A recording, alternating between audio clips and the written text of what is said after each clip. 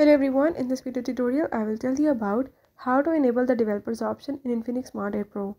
So if you want to enable the developers option or the developers mode, I will show you how to do it. I will tell you all the steps, you have to follow them and if you're new here don't forget to subscribe. Now let's watch the video.